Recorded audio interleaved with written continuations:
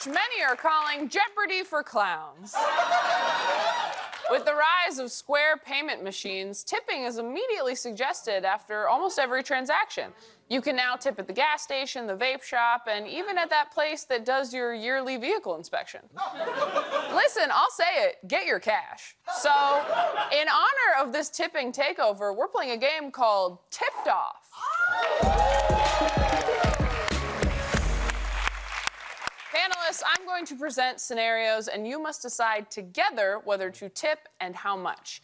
Each time, you'll have four options for how to tip and 20 seconds to come to a consensus. Hmm. Please note, there's always a right answer. Oh. And depending on how you do at this game, you could win a group prize. Tonight, that prize is nap time. Just a little shut eye during our next commercial break. Audience say, ooh. Panelists, are you ready? Yes. Yes. Yeah.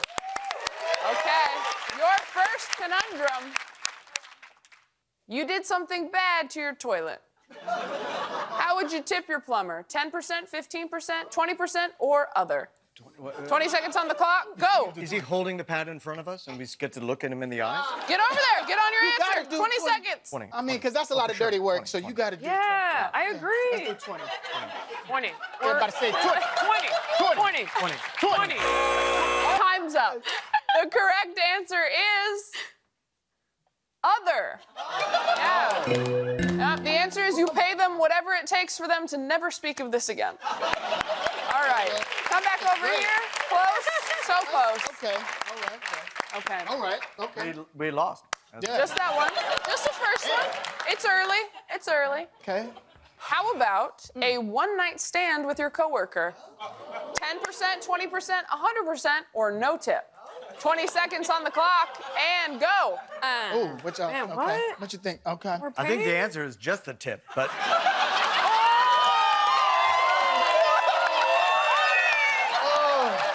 Okay. Come on. 100? Just go pick one, wherever you're just going. pick yeah, one. go. Yeah. Okay, Uh, I yeah, don't yeah. know. Okay.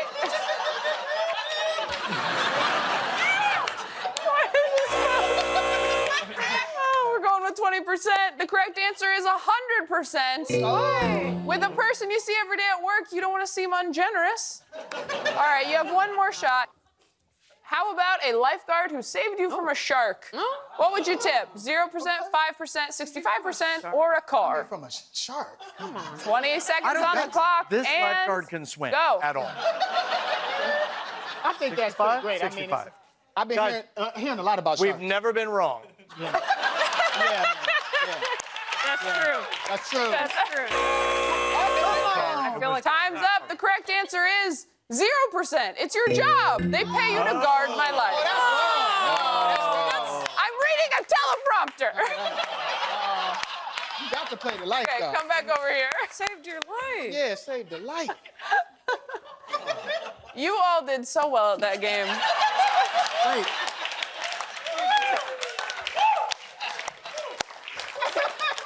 In case anyone was doubting that I'm reading a teleprompter. You all crushed that game. And you deserve a little shut eye.